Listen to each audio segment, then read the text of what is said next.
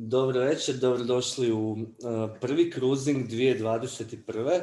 Godine velika mi je čast pozdraviti Dortu Jagić, uh, moju omiljenu pjesnikinju. Bog Dorta. Bog, bog. Koliko su ti puta rekli da si, neko, da si im omiljena pjesnikinja? 17. Ko ti je to prvi rekao u životu? Mama. Ma ne znam, ko bi se sjetio ovaj, takvih stvari? Mislim, lijepo to zvuči, ali um, možda taj ovoga, negirajući, sudečki, ovaj, super ego ne dozvoljava da se pamte takve stvari, nego samo ti nisi dobra pjesnika. A kome si povjerovala u životu da si pjesnikinja? Pa moram priznat, uh, sam, meni to je samo, samo na, u neku ruku ne posve čudno, uh, Mrkonjiću i pokojnom Marojeviću kad je izašla ova moja plahta preko glave i kad su napisali kritike kako su napisali uh, mislim da se Mrkonjić čak izrazio u kritici uh, evo pjesnika s uskličnikom. A i u nekim razgovorima s njima ovaj, oni su nekako nastupili kao moji mentori i bilo je tu nekakvog nagovaranja da svakako nastavim pisati, da mi to ne bude samo kratki izgled uh, u poeziju, nego da se uhvatim poezije ovaj, ozbiljno i da pišem ako treba i nakon života sad pričam. Ali uh, kad sam napisala Tamagočija, Tamagoči mi umro na rukama nakon plahte preko glave. Uh, oba moja mentora su zapravo bila i razočarana jer sam se maknula od e, tog pjesničkog smjera koji sam naznačila u plahti preko glave, koji je bio izrazito ludičan, bilo je puno rimovanja, dosjetki, ovoga, svakakvih rubnih čak stvari za poeziju. Po tome je takva moja knjiga bila neka vrsta mjesta razlike. E, nije se uklapala u, u poetiku tada moje generacije. Ličila sam kao da sam nekako slamnigovo dijete ali već tamagočijem se dogodio neki zaokret prema onome što je poslije bilo nazvano dortizam u poeziji, znači obilje metaforike, strast za slikama, za metafizikom, očuđavanjem običnog ljudskog, ljudskog iskustva i tako dalje. Um, čudan nalog se isporučuje pjesnikinjama, uh, društveni nekakav nalog koji tako malo lebdi iznad glava, a to je da je vaša nekako poezija uvijek autobiografičnija od mm-hmm. Muške poezije. I to je sve to polje jednog onako finog kulturnog seksizma koji je jako lijepo kodiran, ali u trenutku kada si počela pisati i o svom tom iskustvu i o ženama, uh, odmah si dobila etiketu uh, feminističke autorice. Jesi li bila svjesna da ćeš to postati prije nego što si to postala i jesi li povjerovala toj etiketi? Da, kod mene se taj famozni feminizam dogodio a priorno uopće nekoj teorijskoj poziciji, uopće osvještavanju svega što, toga što je ovoga feminizam.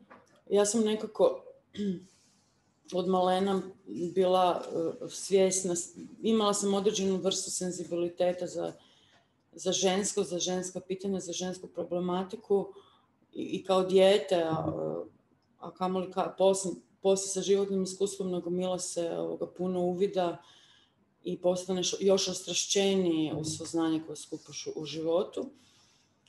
I onda te ljudi pripoznaju kao feminističku e, autoricu, međutim ja nisam samo to, kod mene ima jako puno slojeva svega i svačega, ali nekako se najviše kod mene ističe e, feminizam i, i ti teološki neki slojevi ovoga, u pismu. Međutim, ima tu zaista svega, svega svačega, ali ovo za autobiografizam to mi je nekako, jo, jako mi to nekako šlampao. Baš je uskogrudno i pokazuje tu neku intelektualnu ljenost da se uđe dublje u stvari, da se stvarno pametnije čita, čita poezije. mm A mislim, u ostalom, što se mene tiče, ja sam imala isto jedan specifičan razvoj od nekoga koje je pisao većinom biografska iskustva, mada to ne bi mogla reći za drugu zbirku, tamo mi umre na rukama, koja je više neka kozmogonija šašava opičena, koja se bavi raznim fenomenima, koja personificira maglu, južinu, što su te sjene, ma svakakve ludosti. Ali da, u, recimo u zbirki Đavoljih sidjelica, Kauč na trgu ima jako puno mene, mojih osobnih nekih obračuna sa svijetom, i, za, i da, sa, sa tim nekakvim ovoga, ljubavnim uh, razočarenjima, gotovo đavolo sidilici, naslov vam sve govori. da, da, da. Kojeg je to na knjiga? Ovaj, kako je vrijeme teklo, kako se pisalo ovaj, na mom stolu, život koji sam živjela, došlo je sve više do uh, eksplozije, implozije je prestalo i došlo je do mijenjanja očišta iz unutrašnjeg svijeta, proživljavanja i izražavanja šta ti nije bilo umilo u iskustvo šta je, do istraživanja drugih ljudi, osobito velikih e, žena koje su mijenjale mhm. svijet. To znači recimo kauču na trgu, cijeli jedan ciklus posvećen hrabrijim viktorijankama, isto kao i u biblijskim ženama gdje sam skupila oko 250 biblijskih uh, likova na jedno mjesto i na neki način im dala tako počast za, za svu hrabrost koju su iskazale u tom ne, nemilosrdnom ovoga, starozavjetnom, a i dijelom novozavjetnom svijetu. Um, nova knjiga Noć na zemlji je zbirka s jedne strane tog nečeg što se zovu crtice, tog nečeg što se zovu dnevnički zapisi, tog nečeg što se zovu meditacije. Meditacije, da.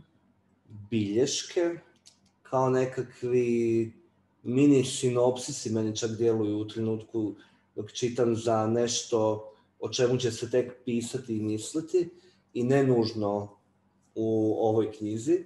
A, reci mi, uh, kada si to pisala, jesi li znala da to pišeš? ili to samo izlazilo kao nekakvo, nekakvi pokušaj rješenja nekih tema? Kako je kombinirati te sve, mm-hmm.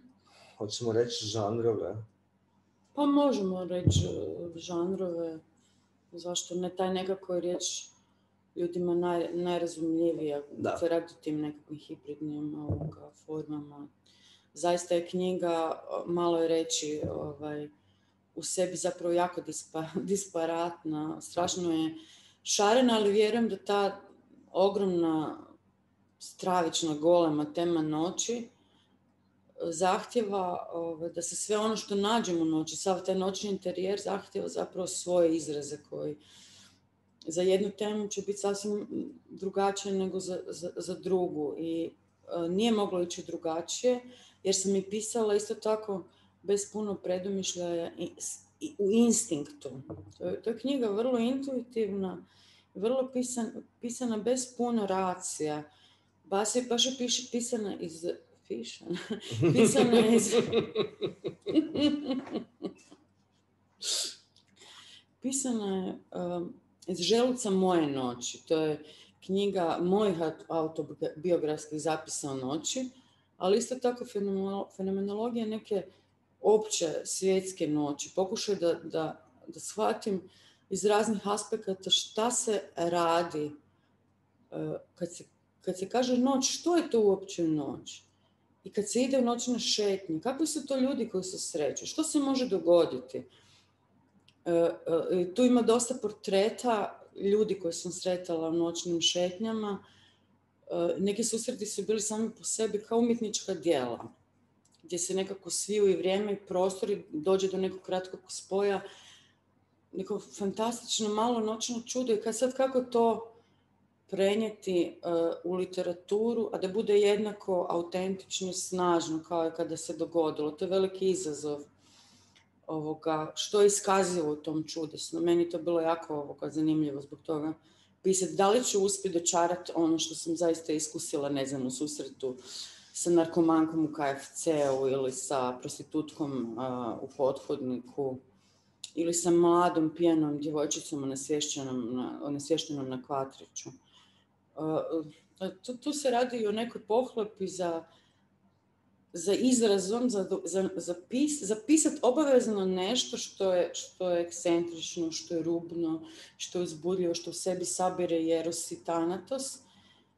Neka, uh, stvarno da, pohlopna potreba da se život uhvati.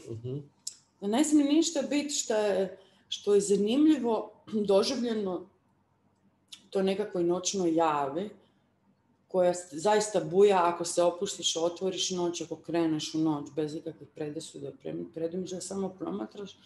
Ta jedna želja da, da baš sve što se tiče toga, čak i kako si se obukao, kakvi su mirisi bili u zraku, kakvi zvukovi, želiš zapravo tom nekom pohlopom za sve zapisati. Ovaj, jer vjerojatno se radi o nekoj vjeri da ako se nije zapisalo, nije dogođeno. To je kod nas pisaca vjerojatno često. Reci mi, je li ima nešto i vojersko u, u, u, u tom pristupu? Apsolutno. Mislim da inače pisanje vrsta ovoga vojerizma i zapravo graničnog trača, nekad, nekad potpuno se radi o tračanju zapravo života i, i protagonista u, u životu željnost je prpljava i ona gleda, gleda što se zbiva. I onda prepričava, kao nekakva baba na lesi, ako će možemo ići do, do tako banalnog jednog, ovoga, jedne banalne usporedbe. Um, ja jesam zaista vojer, ja, ja sam tip spisateljice koja voli zuriti, blejiti u sve što se zbiva. Pogotovo u ovoj knjizi se to može vidjeti ovaj, od prve do zadnje stranice jer noć zapravo doživljam kao neku vrstu ovoga teatra, sad je ovdje uživo. Zaista kad izađeš na noćne ulice možeš vidjeti vrlo, vrlo teatralne prizore. Oni koji tjeraju adrenalin u žile, nešto što te, što te čini, daje ti osjećaj da si živ to je meni kod noći zanimljivo. Da. I da si u zanimljivom nekom narativu. Da, da. Dok dan mi, ne, dan mi nekako činovnički, ima mi taj ovaj, okus nečeg, um, kako bi rekla, zobrnih pahuljica, nečeg. Nema mi dovoljno jak okus dan. Nije mi aromatičan kao noću. I nisam jedina, za Boga, pa kolika je tradicija nokturna Ovaj, pa rasli smo na, na nokturnima što naših pjesnika, što stranih. E, pogotovo tradicija romanticizma. Ovaj, to su sve bili zaljubljenici u noći i slavili, slavili su noć, ovoga, nazivali su je velikom noći, znači sa velikim početnim slovom. I, i meni kao djetetu već to ušlo ovoga, u krv i, i cijeli moj habitus i glazbena tradicija, da ne govorimo o slikarstvu, gdje strašno puno slikara su ma nisu utjecali toliko na mene, što znači utjecati, nego sam ih prepoznala svojima. Prepoznala sam taj određeni senzibilitet i atmosferičnost kao svoju. Recimo Hooper, ovaj Amerikanac, pa Paul Delvaux.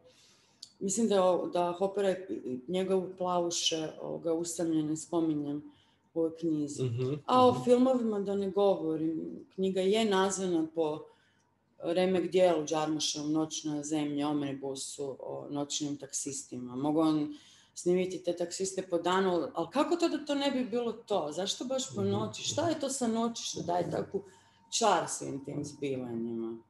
Ja obožavam pričati s taksistima noću. Evo ga. Imam osjećaj. I cijelo vrijeme naravno sjetim se tog filma i ono, na neki način je kao jel, referenca, ali da, postoji nešto užasno kinky i mhm. nešto djeluje autentičnije mhm. od ostatka proživljenog u tom danu, odnosno noći. Da, da. A da mi reci... Um, Nešto sam žedna. reci mi, je li vjeruješ uh, da si se emancipirala od najtoksičnijih aspekata fikcije u svom životu, u svojoj svakodnevici? Najtoksičnijih aspekata? Fikcije. Fikcije. Da. Mm, reci to for dummies. for dummies. To bi bilo mm, da si prestala ići kontra sebe u proizvodnji sebe kao umjetnice. Da, proizvodnja sebe kao umjetnice. Ovo jako zanimljivo. Proizvođenje sebe kao umjetnika. Nikad nisam išla iz te pozicije uh, koje si ti sad naznačio. Ali da, zaista se radi o. Kada radiš već 22 godine, koja što ono, pišem već 22 godine, to je nepristano rađanje samog sebe kao, kao umjetnika. Stalno nekako novo rušenje pa uspostavljanje novoga. I meni je zanimljivo ovaj, e, koliko je to već sad srušenih Dorti, uh spisateljica za mene, koliko je bilo koliko je naraslih, pa onda opet srušenih. To stalno, stalne invencije su mi vrlo zanimljive. Kao da živim neku mini reinkarnaciju uh u, svom, u tom malom životu koji, evo, 46 godina nije sad prema ko- kozmičkim nekim relacijama puno. Ali za, za, za nekakvu spisateljsku karijeru je. A fikcija je vrlo zanimljiva stvar. Um, moja fikcija je recimo Tamagotchi, Tamagotchiju. Neki dan sam čitala s prijateljima tu svoju knjigu na glas. Mi smo se valjali od smijeha. Ja nisam mogla prepoznati tu sebe koja proizvodi takve vrste fantazmi, takve vrste nemogućih spojeva. Uh, tako, jedan svjetonazor koji meni danas potpuno ovaj, strani. Ta vrsta fikcije mi je danas potpuno strana. Dok recimo mi sada puno bliža neka stišanija fikcija koja ima više u sebi geometrije, gotovo figurativna, koja više korespondira sa, sa zbiljom i njenim istinskim problemima. Koja ne ide u nekakav uh, kaos dadaistički, nego, nego na neki način otkupljuje u zbilji ono što je, to je banalno. Više, znači, više nadograđuje i pomaže nego nešto što sam prije, recimo, pisala. Što više bilo zaista psihodelično, meni danas pomalo strano. A sa čim to ima veze? ovi konzervativni interpretatori bi naravno rekli da to ima veze sa zrelošću, odnosno sa uvidom u poraze, da ne smiješ toliko dugo biti na nebu, hodat po oblacima, da ipak moraš početi razgovarati sa zemljom. Pa sigurno da tu ima ovoga, iskustva i zrelosti, ali ja se sama sebi činim u nekim stvarima nezrelija danas ne, nego prije. Osobito što se tiče pitanja slobode. Što sam starija, to sam nekako neslobodnija prepoznajem neke nove kukavičluke u sebi uh, koji sigurno ne mogu biti vezani za zrelost, nego za što se kao zapravo to budi na zemlji, vrsta odustajanja zapravo od ovog što si isto spomenuo, neba, ne hode. ja mislim da je super hodati ovaj, oblak u hlačama, biti, ok, na zemlji, ali ne smiješ se, ako želiš ovoga, biti vjeran sebi, ne smiješ se odreći zapravo e, neba. Mm, ne sviđa mi se to što, što sam se u neku ruku čak previše ovoga uzemljila. Neko bi rekao da, to je ono, zrelost. Ovoga. Ali ja bih rekla, ne, to je zapravo možda čak i preplašenost odraslošću i svijetom koji je kao zreo i odrastao. Zrelost čudno, čudna uopće riječ. Čega se toliko boje? Ja sam, na primjer, užasno bojim zrelosti i jako, joj, jako bježim od nje. I, Evo, čega se bojiš ti kod zrelosti? Pa ja mislim da je sad ono najbanalniji prvoloptaški odgovor smrti. Te konačnosti, tog nekog... Zapravo kad dođeš kao u zrelost, to je već vrsta neke toplanske smrti, ta neka Da, ravnica. da. Znači sad može Dosade, dalje biti dosade samo dosadno. Da, Da, da, da. ko vraga se dosade E pa ja na neki način isto zrelost, zato je se isto malo ba- baš tako te nekakve čudne psihološke svake druge ravnica. Ali nešto smo krivo ubrali u vezi toga. Pa jesmo, vjerojatno. Ne- ovim putem molimo da nam neko pomogne. I možemo dati žiro račun. Se.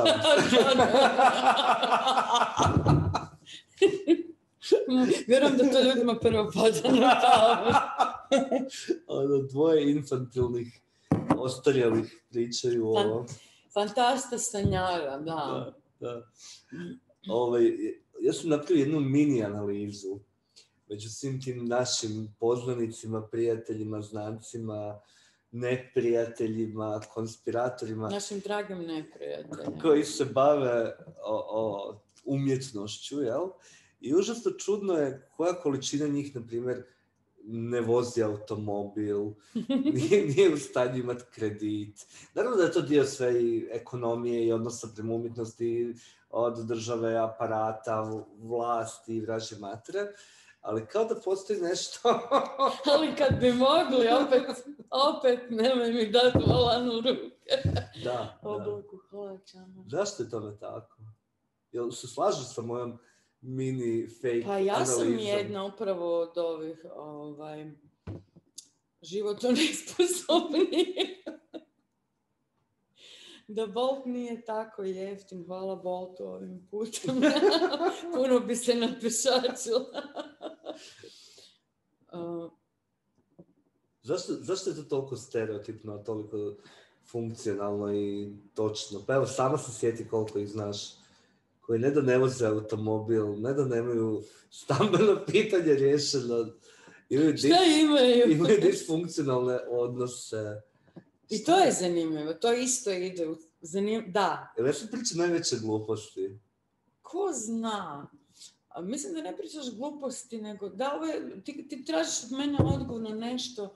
Pa razmišljala je, odgovor je zapravo, tu nema, to je zapravo nekakva retorička ovoga figura sad, ono, što sad uopće govoriti o tome, to je, to je zaista ono opće mjesto ovoga umjetnika, mislim, na, na cijelom svijetu. Pa sad je neka objavila nedavno knjigu, eh, zove se slično koja Dorte, tako nešto. Ka- kako ona u 45. ovoga smotana je ide polagati vozački ispit. I od toga napravi roman, mislim, te, znači toliko mjesto ovoga čuđenja, kako to da ovoga, netko polaže vozački kao pod stare dane, da, da znači pisati, to, to se pretvara u roman. Ja ga nisam čitala, samo sam nešto čitala općenito ovoga, o, toj knjizi. Ali, evo, šta bi ti rekao, zašto je to tako kod, kod, kod Ne, ne znam. To je neko ko ono elementarno nepovjerenje u sebe, ali I u povjerenje... svijet isto tako, da, i u svijet- da, el- ra- vjerojatno jedno i drugo. Mislim, ja se zaista bojim da ukoliko bih ja položio, ja bih ubio deset ljudi u tom prvom sudaru. To bi se dogodilo. Ta, tak ja to brijem. Ja to užasno Pa evo ti prilike.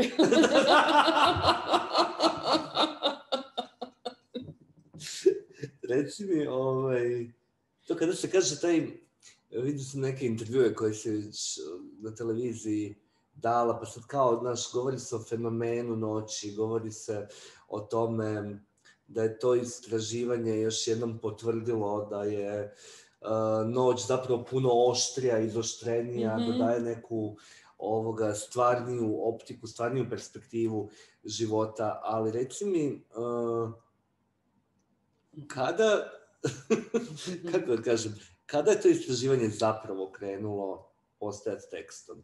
Dakle, ono je sigurno bilo tvoja praksa u životu već dulje vremena. Voliš šetati po noći, voliš dru, noćna druženja, naš nekakav taj društveni život umjetnika, novinara je na neki način osuđen na noć, ali kad, je, kad se odlučila baš o tome pisati i šta, kako je to književno istraživanje se onda preusmjerilo? Mislim da se stvarno radilo kako, znači ne lažemo ga u uvodnom pogledu knjige gdje, gdje kažem da sam pogledala po ne znam koji put Noć na zemlji. I onda sam razmišljala, pa zašto ja volim taj ni po čemu baš tako senzacionalan film, šta je o njemu? Onda shvatim, a to je specifična toplina koju, koju emaniraju bića noći. Ovaj. Neka nevjerojatno ljudskost kao da nema, nema po danu. Ali nije, nije bio samo to nekakav konkretni povod kad sam pomislila možda da, da istražim tu atmosferu noći na literarni način, nego mislim da je zapravo početni tekst zbog kojeg mi je palo na pamet da, da zapravo napišem noćnu knjigu bi, e, bio zapisi o kustoši raskršće sa Zdencim gdje sam mm sjedila sam na balkonu, e, klasična nesanica i počela razmišljati o sudbinama ljudi u kustošiji. Gledala sam sve te kućice, manje ili veće, razmišljala sam o tim sudbinama. I onda sam se sjetila da je Dylan Thomas isto napisao nešto slično kad je napisao uh, ispod uh, mliječne šume. Isto je tako kao uzeo ulogu nekoga ko noćnog promatrača sudbina ljudi svoga velškog sela. Ja sam rekla, nije to bez vraga. Ovaj. Ima nešto u tome da, znači, noć nivelira izlikovci i najveći, najveći nevinaš se moraju spavati. Kako sam na jednom mjestu baš dosad napisala, da i, da i serijski ubojice noću moraju pustiti kontrolu, moraju se predati nesvjesno, čak i opasnosti da ih neko na spavanju ubije. Znači noć napravi nekakvu finu uranilovku i nekako imaš pregled nad cijelim tim teatrom sudbina života. Pokušavaš doći do esencije uh, svih tih dnevnih ljudi, što se događa zapravo kada se sva svjetla pogase. Nekako ih jasnije vidiš. Uh, I onda je to, to jednostavno tekst koji je rodio na neki način perspektivu gledanja na, na sve ostale ovoga, susrete noćne e, i pariške noćne šetnje, ne znam, onda noćna šetnje bad išlom. E, jednostavno noć daje drugu perspektivu na, na ono što se zbivalo danju. šta sam još bila?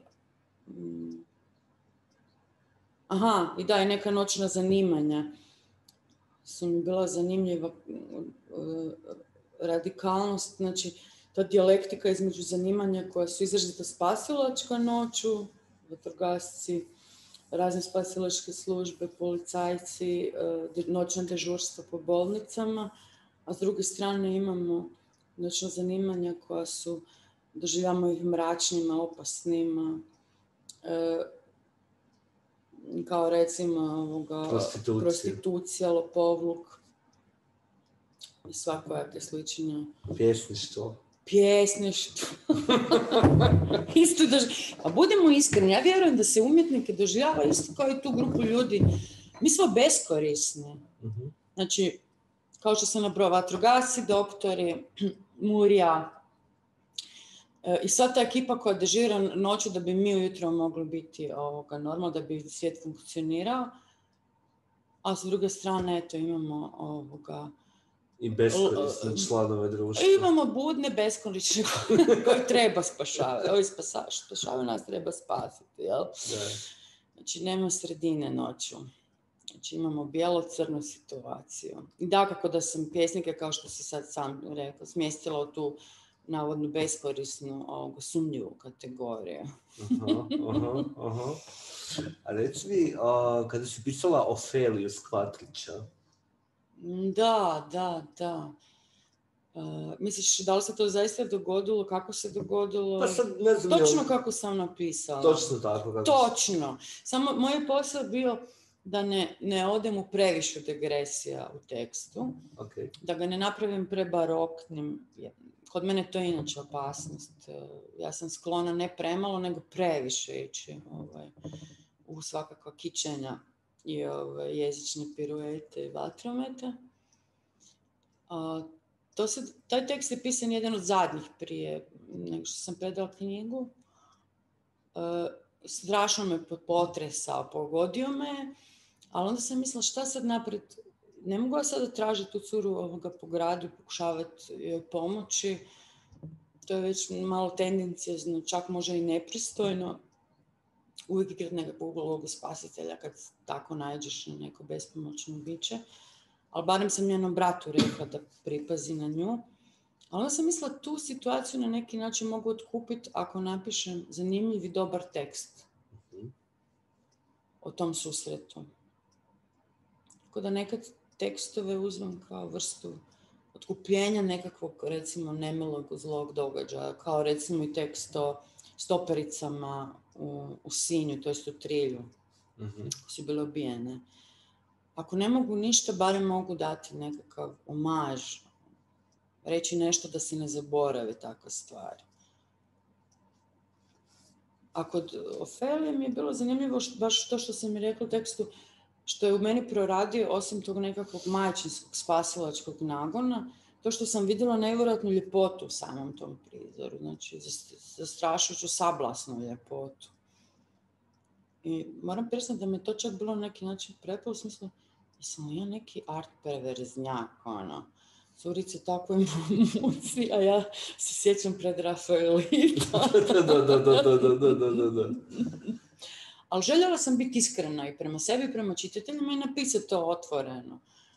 Da, da su mi spopali uzvišeni umjetnički osjećaj nad tako jednim zapravo strašnim eh, priraz, pri- eh, prizorom. Znači, ma nismo mi umjetnici baš skroz normalni. Sad će mi se stalno motati po glavi to je pitanje neće me lako puštiti. Zašto smo mi tako smotani za život? ono? Što si rekao. Jedne strane to malo djeluje i kao poza, naravno, kao Ma sve da. ono što ne moramo odraditi, da bismo Mm, bili... Da, neka se to. time ba- bave praktični, smrtni, ne znam. Mhm, što. Da, da, mhm. da. mhm. Postoji nekako čudno povjerenje da ovoga, mi čuvamo život. Hmm. Mi smo istovremeno i, i strašno oholi, strašno nesigurni i na neki način ne volimo sebe, opet mislimo da smo... Da, dajemo neki veliko viši oblik- povjerenje histrionštini i narcizmu. Je, je. Tom I neki, neki zamjeraju ako, ako umjetnik nema te ovoga, osobine, ako, ako nema te narcistic traits, onda neki nije baš s njime ovoga, u redu. jel? Da, onda snima sapunice i zarađuje pare. Da, da, da, Da. treba malo to kako najeklatantni primjer Dalija koji jednostavno stoliči sa narcizam ovoga, kao isto žanr iz njegove slike. Ovaj, da li ne bi bio Dali da nije, da nije bio tako zaljubljen ovaj, u sebe, isto vrlo vjerojatno strašno smotan za, za, Albatros, kako to rekao Baudelaire, za ovaj svijet.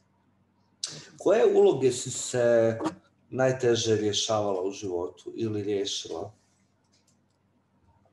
Možda najviše te što sam, koji sam spomenula, tog nekakvog sindroma mesije, da kad god on uletim u neku e, situaciju koja djeluje opasno i u kojoj je neko ponižen, povrijeđen, bilo, na bilo koji način ugrožen, da ja moram odmah um, spasiti stvar, što mi se više puta i tekako obilo u glavu i naučilo me pameti da, da si, to isto jedna vrsta nekad prikrivenog narcizma. Mhm. Taj, taj refleks pa- mesijanstva može u sebi kriti isto tako osjećaj da si ti na neki način nad tom situacijom i tom osobom koja je ugrožena i ti sad eto možeš pomoć. Ali imala sam, u, s ovom u drugom surađuju, surađuju s ovom, za ove, za one. Ma joj, puno naučiš o ovima koji su to bože jako ugroženi, onda kažeš ono, pomozi, kako se ono kaže, pomozi sirotu na svoju sramotu. Naučiš isto biti ponizni, nisam ja nikakva majka Tereza, on smiri to. Ovaj.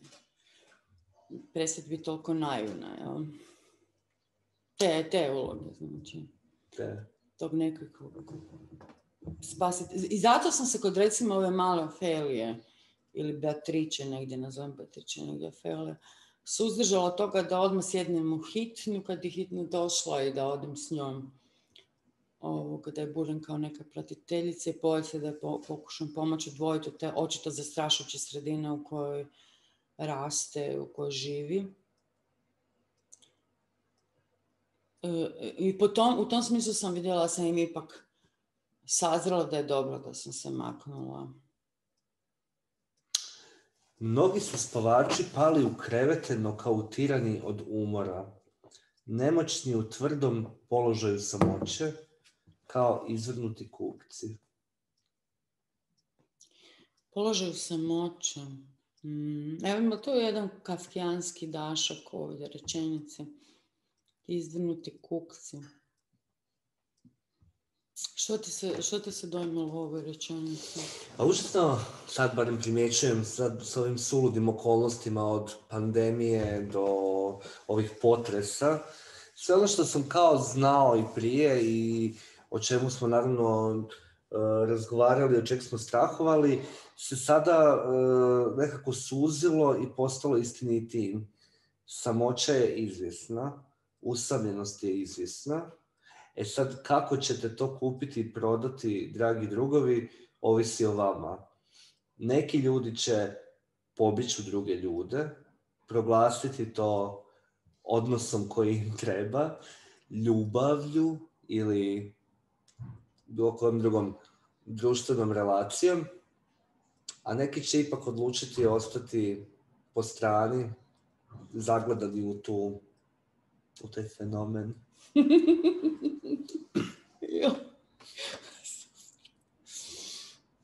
Ovo je sad bio pravi mikroesej o samoći, prekrasan. Ma mislimo radikalno i apsolutno sami. I kad smo u toj ljubavi, kad kažeš, kako ti kažeš, pobjegnemo druge ljude, opet smo radikalno sami. Mi ne možemo se utvarati da ćemo ikada doći do otvora do te maternice drugog i tamo se ugnjezditi, biti kao paraziti i niko nas nikad više neće od, od tamo istjerati. Unaprijed smo već istjerani iz te maternice. E, nema krajnjeg stapanja, nema, nema utočišta u tom smislu, barem ne ljudskom. Ja, ja sam vjernica, vjerujem u tu metafizičku mogućnost e, kozmičkog tog spajanja sa, sa prajednim, ali čak ne, na ovoj zemlji ne vjerujem da je to moguće. Na zemlji smo jednostavno radikalno, apsolutno sami, htjeli to mi ili ne, priznali ili ne, voljeli ili ne. Čovjek je prije svega ovoga samac i stranac na ovom svijetu. Sad se to još jače, naravno, zbog ovih svih okolnosti vidi kad se dogodi potres, kad se dogode bolesti, svakojake kataklizme a vidiš da si apsolutno sam, ovaj do tebe može pasti, koliko god ti njega voliš ili ne, da njega može pa, pas klavir, cigla, ne znam šta se i opet ostaješ sam. Ne možemo spasiti sebe od sebe samih, ne možemo spasiti druge od njih samih i ne možemo ih spasiti za sebe i oni nas ne mogu spasiti za njih. Mislim da to, ne, da to ispomenjem u kratkoj uh, crtici o ocu. Kad sam spomenula što je otac, i onda sam nabrala što se mislim lijepo da je otac, ali otac nije spasitelj, on je samo roditelj, on me ne može spasiti. Znači ono zadnje što se čini kao spasiteljsko, to je otac na zemlji. Ali ne, ne, i tu nam se tlo izmiče, nema. Ne može. A reci mi, u koje tuđe uloge si prestala vjerovati? Dakle, da li si, ja na primjer sam u zadnje vrijeme prestao vjerovati u funkcije, ne znam, tih koje sam proglašavao ljubavnicima, tu se dosta smanjio doživljaj. Što sam sam davno raskrstio jer je umro. Mhm. Samo zato što je umro ili? Pa zato što mi se čini da je gotovo pa... Da je zapravo sasvim sigurno suludo tražiti ga negdje dalje. Mhm. Probali smo jednom u ovom životu, Mhm. nije išlo, Daddy issues nema, nema nikakvu funkciju. Um, prestao sam vjerovati u puno uloga koje su tu kao nekakve štake za osiguravanje mog normaliteta. Jesi li ti i u koje si odavno prestala, a u koje recentno? Pa nešto slično ovom na tragu ovoga što si rekao vezano za nekakve ljubavne relacije, znači figura drugoga kao e, produžetka tebe nekak ono, zapravo ta zaljubljenost je ono, zrcalna slika traženje sebe od drugoga, raskrstila sam s tim, s tom zaista iluzijom.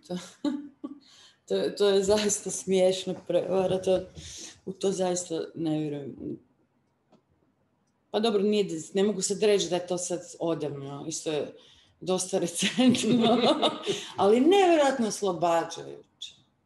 Strašno oslobađajuća istina.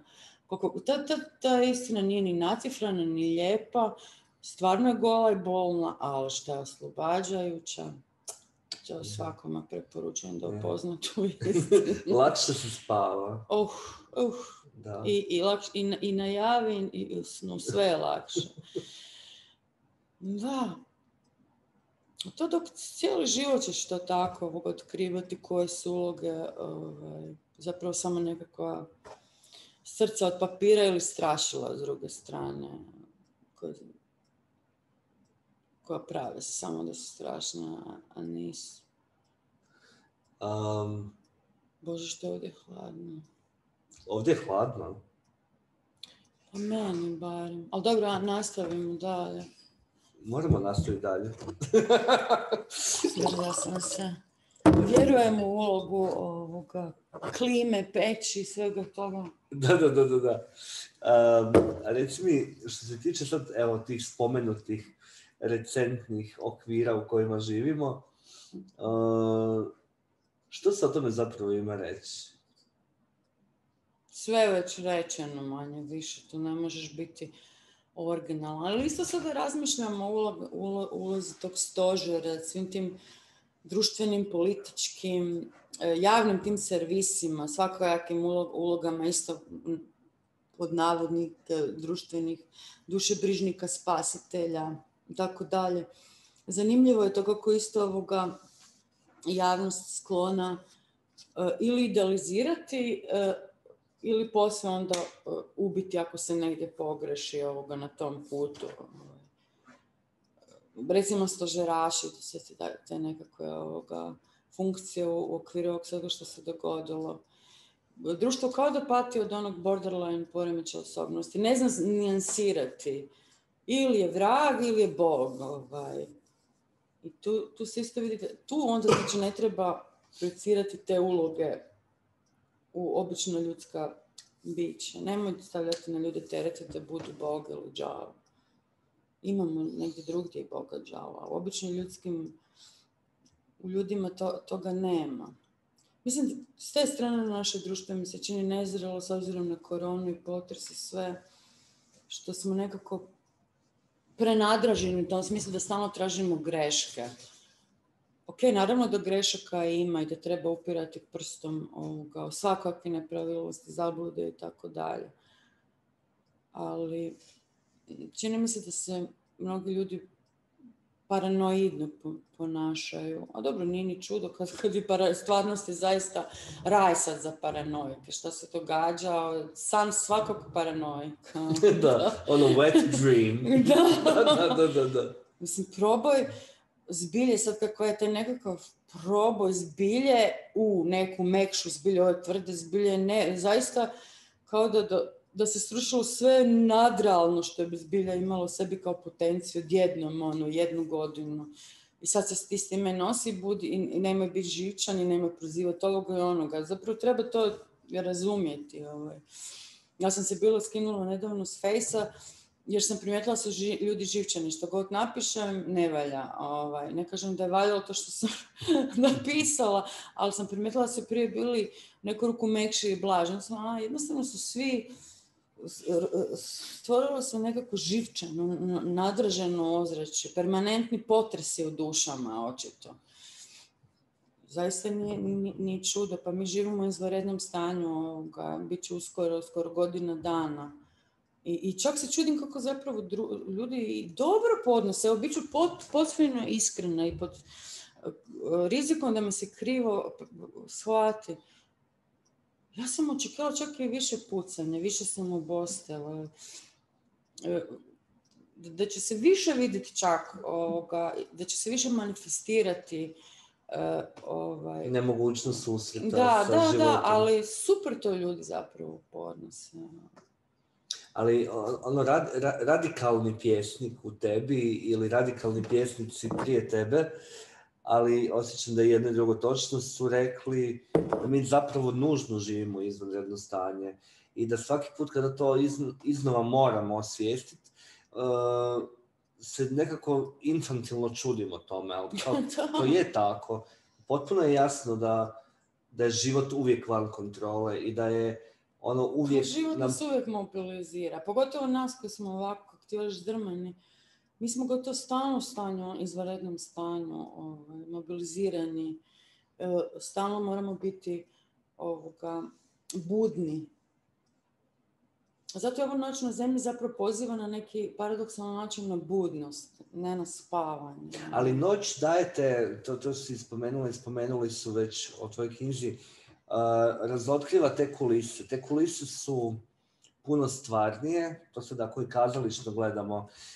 to je ko nekako dekonstruirana postmoderna predstava. Malo je aktera na sceni, tekst je bitno nesuvisliji kada se događa interakcija tih aktera, svjetlo je prigušeno i svako malo djeluje kao da te četvrti zid probijen to preko dana se ne može. Dan zahtjeva bržu, efikasniju, strukturiraniju montažu iz pozicije promatrača tog pripovjedača, autora, autorice.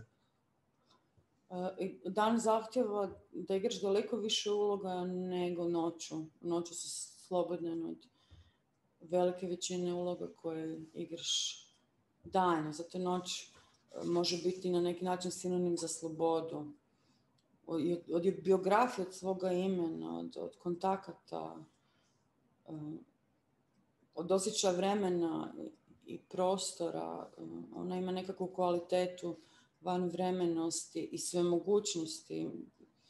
Noć nekako miriše na, na fantastiku. Zaista se sve može dogoditi. Um, I ponoć, da u bajkama to isto koristi. Ovaj, taj, princip noći kao apsolutno transformativne, može se e, sve dogoditi. Šta je smiješno? Pa odmah se naravno sjetimo pepeljuge, sjetimo se žabe, sjetimo se svih tih koji to nisu postali ili kada su postali opet nisu zadovoljili i tako. Žaba. Aj joj. Da. Uh, što sam htjela reći za, za noć? uh, ovaj, te nekakve moje pričice o noćnim susretima koje uh, nisu stvarne, nego pripada i carstvo noći gdje je sve moguće. Znači ne ove susreti u KFC-u ili na kvatiću, tako dalje. Da, nego, ne ove reališke. Nego kad dođe David Lynch, jednostavno sasvim prirodno priđe u Splitu na Radunici i traži od mene cigaretu i pita gdje je Mulholland Drive. Znači, to je moja pepeljuga, znači to je moja vrsta pepeljugizma, ono, gdje mogu koga god hoću sresti. Tu sam se ludo zabavljala dok sam pisala taj dio knjige o susretima s Rilkeom, sa Šeherezadom, noćnim i, i tako dalje. Mislim da ima samo dva koje sam stavila uh, na platno dana, kulisu dana, ali sad mi je malo žao. Opet imam to onda osjećaj nekakvog prejakog zasljepljenja, pre tog, tog nekakve buljavosti dana. Ne možeš ništa sakriti. Ovaj. Ne, ne, jednostavno dan mi nema dovoljno čaroliju. Ni, ni životnu, ni literarnu. Kaže, zapravo si ti malo istraživanje, ovaj, pa si pitala svoje Facebook sugovornike ovaj, da oni sami definiraju noć ili da kažu kako se osjećaju u vezi noći mm-hmm. ili mhm. kojim e, noć uh, osjećaje budi, što ne znači da se osjećaju tako kako ona budi. Pa je, na primjer, Boba Đuderija rekla noć je fetus. To mi je zazvučalo automatski kao ne neka racionalna, nego ne, intuicijom sam prepoznala da to mora biti istina. Uopće nemam pojma što to znači, samo mi intuicija govori da je to istina. Meni to nekako ima veze sa ljubavnicima koji mm-hmm. rade na tome da dobiju fetus. Da dobiju fetus. Onda Odlično. kaže... Sviđa mi se jako Noći crkva, Dalana Brleka. Dalana Brleka, da, mm-hmm. Noći crkva. Mm-hmm. A ti se to sviđa zato što si vjernica ili se to sviđa zato što... Ne, A? ne zato što tumači crkvu kao upravo što, što sam prilike Some pokušala rekla. Znači, apsolutni beskraj, sve, znači, e, evociranje beskraja, astronomskog zapravo e, beskraja, nema kraja. Kad gledaš dan, čini ti se da ima kraja svijeta, a kad gledaš noć, noć evocira ovoga beskrajne daljine, E, mistiku, zvijezdano nebo, e,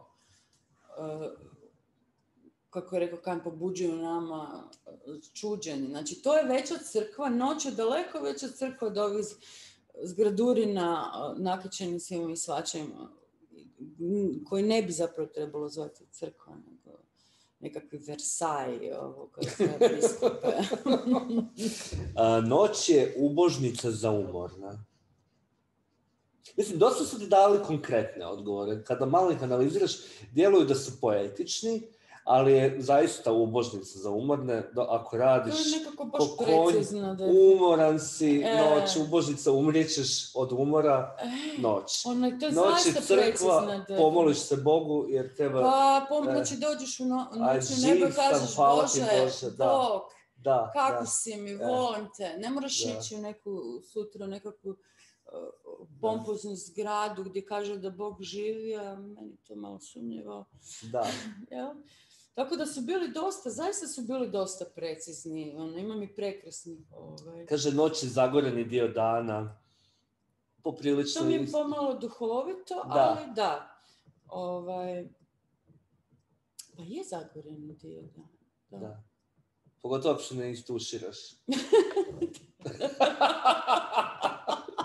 A ne istuširaš A ne istuširaš jer si pijan. Šta se te, koji se tebi najviše svidio? A joj, pa znaš šta, meni, ček, ček, ček, mislim da mi se najviše svidjela noć dno ormara. U, Mare Mala, jel da? Da, da, da. A to je moguće zato što sam sad malo i u ovom fashion svijetu. Pa kao ormar, kožiš, moda i to. To mi pada... E, ali super mi je ovo kao budućnost noći. Je kao dan, mm. jel? Mhm. jasno, mm-hmm. ali prošlost noći je isto tekućer dan. Ne, ja sam napisala da je prošlost noći primordijalna noć koja je onda rodila dan. Kao u nekakvom aha, aha. mom doživljaju noći prvo je bila noć, a tek onda uh, dan. Mm-hmm, mm-hmm. Znači, napravila sam cijelu nekakvu genezu, mislim da je to u drugom poglavlju, uh, kako, kako, što se to događalo kad je nastala noć, što se s njom dalje e, e, razvijalo, kako je ona doživjela i, i povijest čovječanstva i, i, i danas je recimo doživljavam kao umornu, vrlo civiliziranu, ostarjelu već Elizabeth Taylor. ovaj, koje pomalo već sve to dosadilo oko, oko ljudskih ovoga, problema i ratova i ljubavi i svega i ona bi se samo odmorila na večer s čašu vina i malo čitala Rilka i Bok. Čitala Rilka i Cetajevu u prepisku njihovu? Ne, to mi preporučuješ. Da, imam ti to doma čak. A šta ćemo sad kad nismo kod tebe doma? ja bih te zamolio da pročitaš nam nešto za kraj. To nešto za kraj je Sexton i Zvijezdana noć. Aha. Može?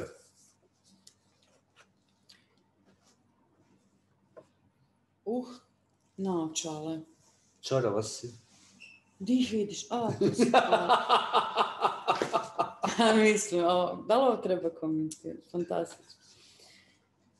Aha, njezinu pjesmu Zvijezdana noć. Ili misliš sve da... Sve pročitaj. Znači, Anne Sexton i Zvijezdana noć. Danas stoljeće prije oni noći u studenom, kad si Anne s čašom hladne vodke u ruci bušila u svoj garaži, jedan detalj ostaje nepoznat. Naime, da je doživjela presudan susret i to pred bolnicom Vrapća. Te noći, unatoč sedativima, nije mogla zaspati. Uz nemir trgali su i menstrualne bolovi. Iskrala se s odjela, dežurne su sestre čavrljale u sobi s Max TV-om. Sjela je na klupu parku ispred bolnice, bila je bistra ljetna noć.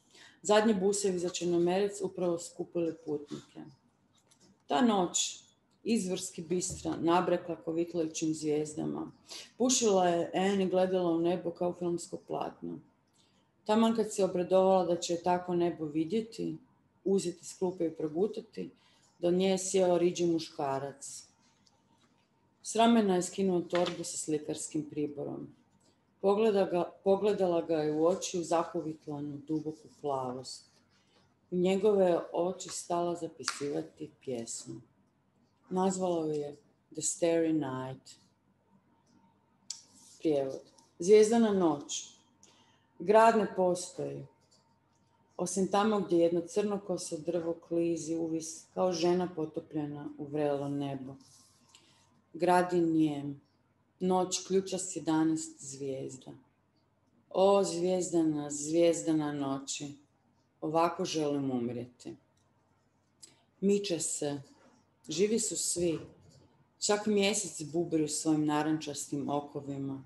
Istiskuje porod poput Boga iz svog oka.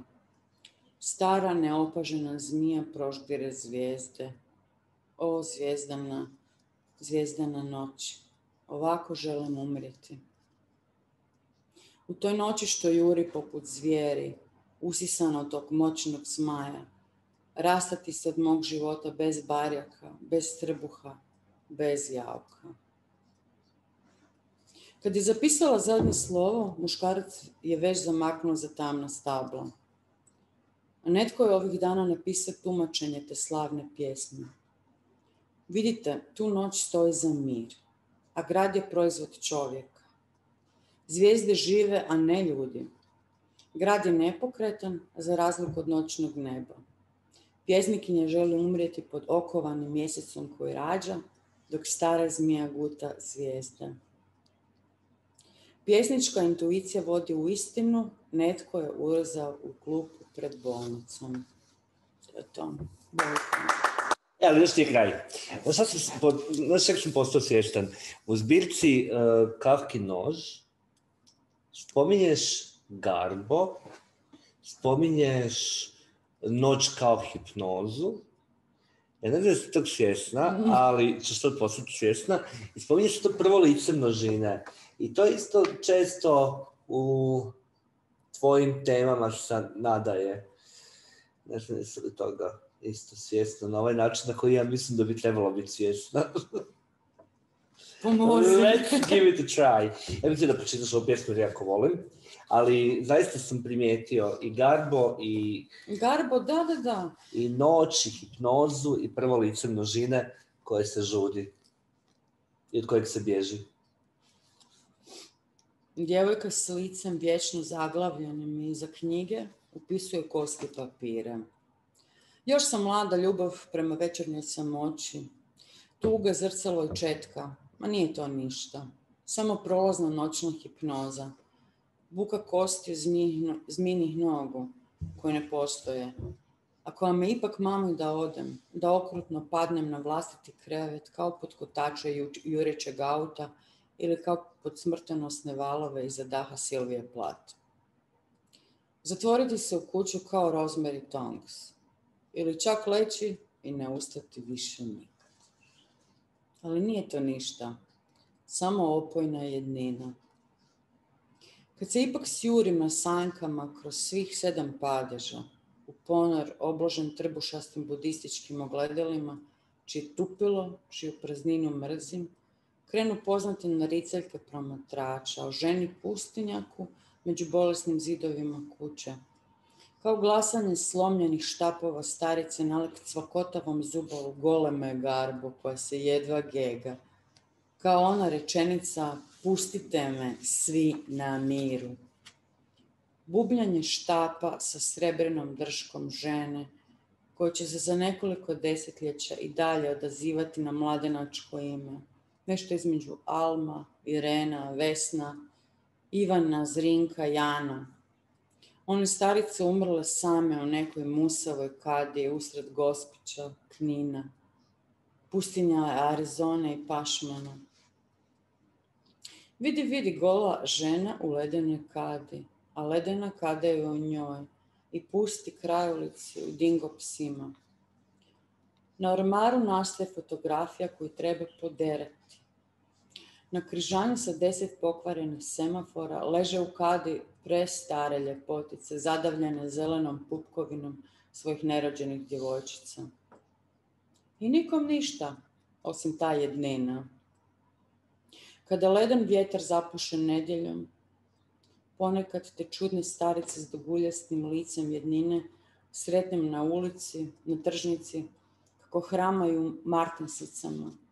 Njihove mlade zelene oči i obrazi krvare kapilarno i sjeda kosa otpada u pramenovima na pločnik.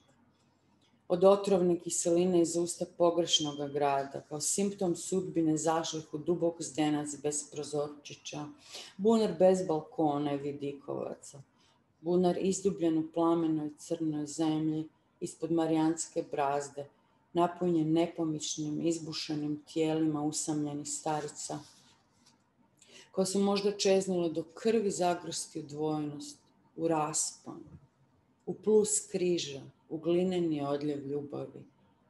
Zavući se ljubavi u duplju, u toplu arteriju i proto trovati svoju rijetku anemičnu krv što kola godinama u umjetnom soku i srca prvog bika jednine, iako u njihovoj knjizi piše ali nije, ali nisu, nije. Hvala Želim vam mirnu noć i da pustite sebe i druge oko sebe na miru. Hvala Potpisujem. Hvala Hvala i tebi. Bok.